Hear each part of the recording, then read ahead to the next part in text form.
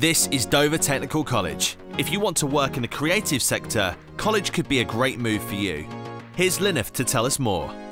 Hi, my name is Lilith Precious. I study art and design at Dover Technical College. Once I've gained my qualification, I want to take it to university, uh, further on with the art course, and then pick whatever job opportunity comes my way that's creative. At college, I like the fact that they don't treat us like children and we can get on with whatever task we want to and if we need help, the teachers are always there and they're always prepared to help us. The facilities are excellent and they're really easy to use. The people are incredibly friendly and easy to get along with and the teachers are helpful and they know what they're talking about when they teach their subjects.